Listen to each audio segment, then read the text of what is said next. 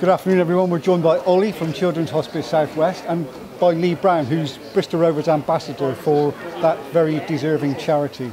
Now, here to tell us about a bucket collection next week at Oxford. Lee, it's important, isn't it? We raise funds for this very important charity. Yeah, it's a fantastic cause. I went down to um, visit the hospice um, back end of last season, and it's a it's a it's a great setup. What they do down there is phenomenal. Um, so any any spare change that you can bring to the Oxford game will be greatly received, and if you can, please please bring. Ollie, we've already done some fundraising for you, I think, with a run back in the summer. How did that go? Yeah, it all started actually with Paul Hughes, uh, the academy uh, director. Is that right? Paul Hughes, the academy director, and he, um, no, what is he? Official job title? Um, lead foundation coach. Like that.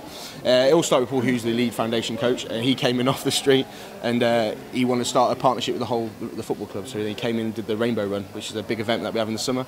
Uh, and loads, about 167 I think, from the academy took part. They've raised over six grand already.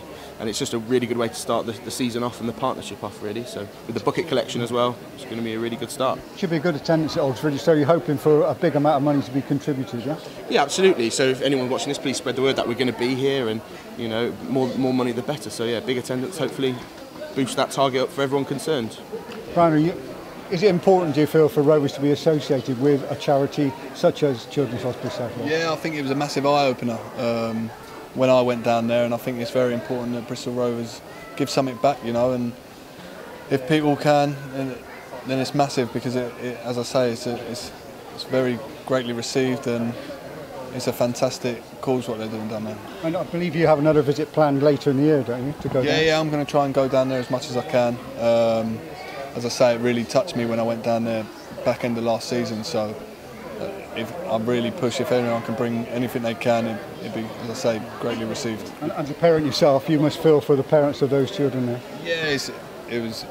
It's tough as I was speaking to you guys down there. It was, it's, it's heartbreaking, you know. But what they do down there is they put on a great, great facility, great support, and um, it, it really does help the families out, as I, as I see when I went down there. Ollie, collection next week. I gather there's a check presentation later in the season. Is that right? Yeah, it is against the, the Rochdale game. So uh, we're going to do a check pres about what we've collected on the buckets and for the Rainbow Run, all the money add, added together.